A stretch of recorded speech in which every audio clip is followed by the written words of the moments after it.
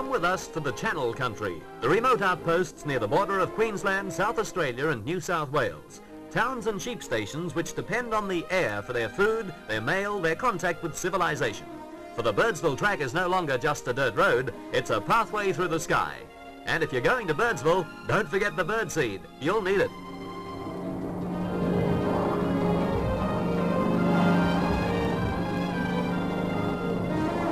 One track leads from Brisbane. You fly west past Condamine and Roma and on to Charleville.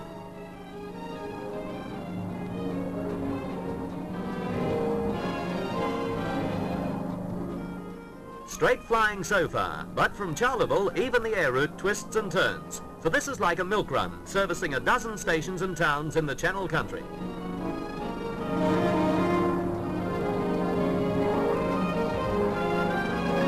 Soon Charleville is left behind, and the plane with its precious cargo of foodstuffs and mail, medicines and newspapers, heads for the lonely, isolated outback.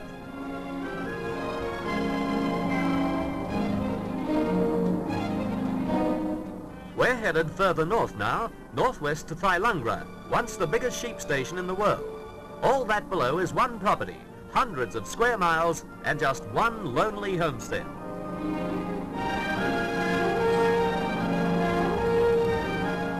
From Thylungra to Windora, and Captain Brooke and his crew will get a great welcome there too. You can imagine how much they depend on the plane's arrival.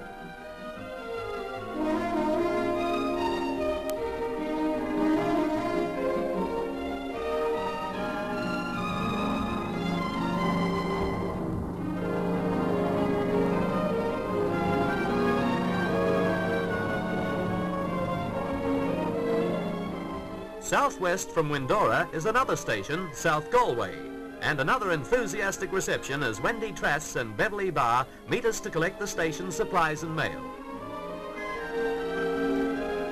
There's another track to Birdsville too. This one starts from Adelaide and goes via Leigh Creek and Innamincka. It's a supply route too, and one of its most important stopping places is Merrimelia, where a team of 64 men is drilling for oil. They need fresh food too, and only when these things have been delivered does the plane fly on towards Birdsville. It's not so long ago that Aborigines walked from station to station.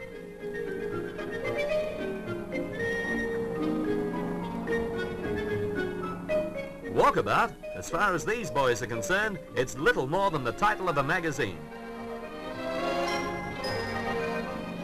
Well, it looks as if we weren't kidding when we said this was a milk run. And now, just over the South Australian border, in the southwest corner of Queensland, Birdsville. It's a town with a population of 20 white people and 60 Aborigines. It's 1,020 miles from Brisbane, and it lies right on the edge of the Simpson Desert. By the look of it, Birdsville is strictly for the crows. The Diamantina runs here, and on to Goyder Lagoon, and thence to Lake Eyre.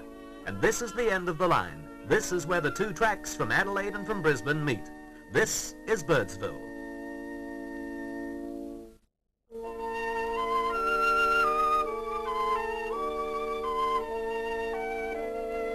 Outside the town, the Simpson Desert looms, sand and gibber country.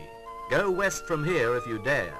Even the camel trains used to go south, and they gave up in the 1930s. Mechanization had reached the outback. At this stage, there was a population of 300, and there were three hotels. They were built of sandstone and mud bricks, and they used burnt gypsum as cement. This one became a hospital in 1923.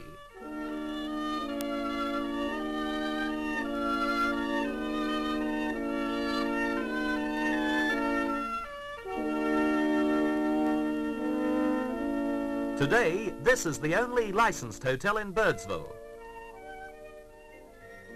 The hospital has been transferred to this modern building, erected and staffed by the Australian Inland Mission. The two sisters, Sister Darling from South Australia and Sister Marshall from New South Wales, look after the spiritual as well as physical health of the children. Most of them are Aboriginal, aged 8 to 16. Birdsville is certainly no thriving metropolis. It's a tiny town on the edge of a vast desert. Most of its people are Aborigines, including two-thirds of the children. But all the kids play together a game called Casti, which is a combination of rounders and bedlam.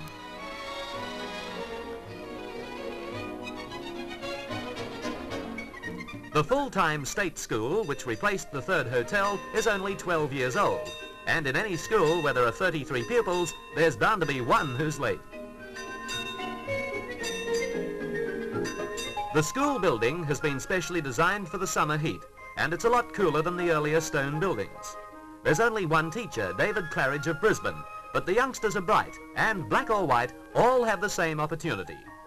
Birdsville, a thousand miles from the nearest capital city, a small town perched on the edge of the desert. A town which knows and accepts loneliness and isolation. But the youngsters will not be as lonely as their parents were, because planes fly in and bring news, visitors and supplies. The planes which fly the aerial pathways, which are the two tracks to Birdsville.